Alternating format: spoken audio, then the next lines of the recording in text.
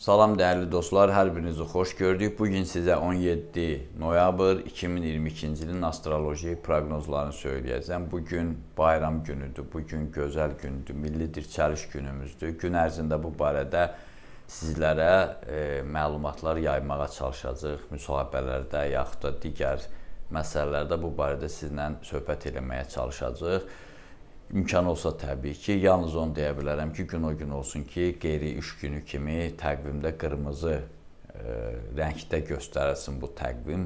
Çünki Rusiyanın təsiri ilə belə bir mübarək günü, belə bir xalqın vəhdətinin ən maksimal həddə olduğu bir tarixi e, gizlətməyə çalışırlar. Çünki bayram günü olarsa, belə deyim, qeyri-iş günü olarsa, televiziyalarda, mediada daha çox bu mövzuda danışırlar. Xalq hərəkatının formalaşması və SSR-nin dağılmasında önəmli rol oynayan bir belə bir tarixi hər kəs bilər. İş günü olduğuna görə insanlar bayramı hiss eləməmək məqsədi ilə bunu əslində ortaya atıblar. Biz də çalışırıq, vuruşuruq, mücadilə edirik ki, bax belə mübarək günlərimiz 18 oktyabr, 12 noyabr və 17 noyabr tarixləri qeyri-iş günü kimi tarixə düşsün. İnşallah e, əminəm ki, çox da uzaqda deyil o günlər. Və keçək belə bayram gününün, e, bu mübarək günün proqnozlarına görə astroloji mənzərə necədir? Qoç bürcü Hansısa narahatçılığa əsas yoxdur. İştirakçısı olduğunuz proseslər müsbət istiqamətdədir. Hətta maddi durumunuzun da yaxşılaşacağı mümkündür. E, gün ərzində çalışın ki, məsuliyyətsizlik eləməyin. Buğa bürcü. Göy qübbəsi təzadlar ünvanına düşməyinizdən xəbər verir. Bu səbəbdən də hər addımda ağıllı və tədbirli davranmalısınız. Fəaliyyətlə bağlı problemləriniz tədricən qaydasına düşəcək. Əkizlər bürcü. Ümumi məziyyətlərinə görə bəxtinizə bir qədər gərgin təqvim çıxa bilər. Odur ki, hər addımda tədbirli və ayıq-sayıq olmalısınız. Haqqınızı zoraki üsullarla tələb etməyə çalışmayın. Hər şeyin sivil qaydası var. Xərçəng bürcü. İş yerində xırda qanqaraçılığı gözləndir. Özünüzü ehtiyatla aparın. Sizi başa düşməyənlərə nəyisə zorla anlatmağa çalışmayın. Əsas diqqətinizi cari iş problemlərinin həllinə yönəldin. Şir bürcü. Yeni əlaqələr yaratmaqla mövcud problemlərinizi həll etmək imkanı qazanacaqsınız.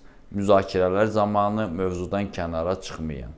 Axşama doğru ürəyinizə yaxın adamlara baş çəkin, yaxud da qonaq çağırın. Qız bürcü.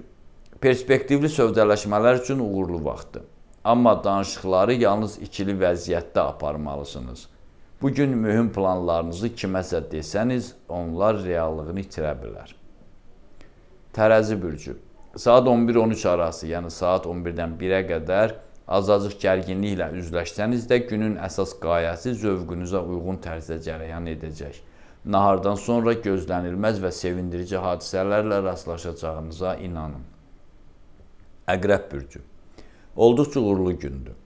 İdeyalarınıza doğru artıq nəhayət ki, ilkin addımlar atmaqdasınız. Tərəfdaşlarınızla səmimi olsanız bu prosesi biraz da sürətləndirə bilərsiniz. Nahardan sonra mübarək yerlərə baş çəkin ki, bir qədər o mənəvi enerjiniz yüksəlsin. Oxatan bürcü. Baş verən situasiyaları reallığın gözü ilə qiymətləndirsəniz, uğurlarınız çox olacaq. Bu gün sizə qarşı rəğbət artacaq. Bunu nəzərə alıb hərəkətlərinizə diqqət yetirin. Oğlaq bürcü. Oturaq işlərə müəyyən qədər ara verin. Yoxsa gərginlikdən qurtula bilməyəcəksiniz. Ulduzlar müxtəlif ünvanlardan maraqlı təkliflər alacağınızı da bildirir.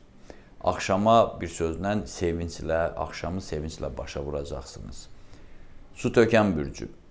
Üzərinizə düşən başlıca vəzifə səhhətinizi qorumaqdan ibarətdir. Hətta bunun naminə işdən yayınmaq da olar. Saat 18-dən sonra, yəni axşam saat 6-dan sonra sevgi romantikliyinə qapılmağınız məsləhətdir. Balıqlar bürcü. Göy qübbəsi ovqatınızın yüksələcəyinə işarə edir. Mənəvi rahatlığa qovuşmaq üçün imkanlarınız artacaq.